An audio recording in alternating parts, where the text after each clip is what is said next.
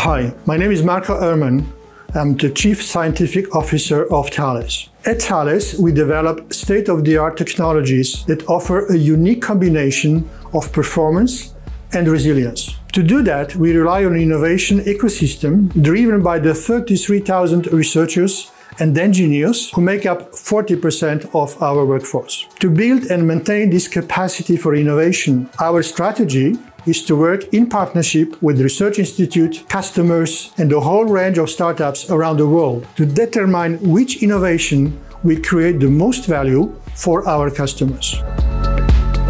Once again this year, Thales is on the list of the top 100 global innovators published annually by Clarivate Analytics. This is the ninth time we have made the list in the last 10 years, and we are particularly proud of that. It clearly illustrates the group's capacity to invest in research and development, but it does more than that.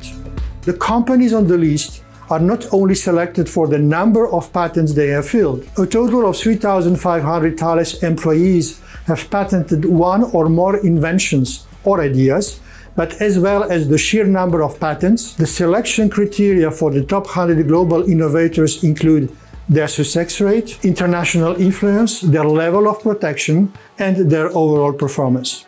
If Thales succeeds in retaining the market leadership, it's because we invest resources into disruptive technologies and green innovation. Because combining high technology with a low carbon footprint is one of the major challenges we are working to overcome today.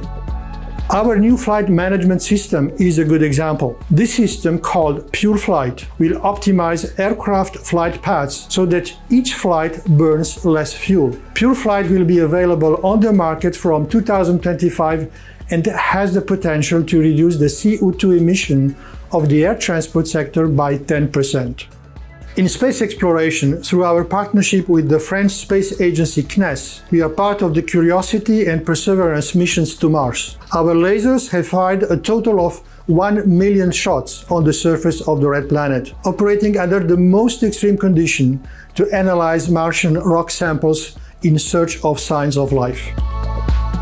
And the innovations of today foreshadow many more to come for example, in quantum technologies, which are set to revolutionize sensors, communication, and cybersecurity. At Thales, we are fully engaged in all three of these strategic fields as part of our effort to build a safer, greener, and more inclusive world.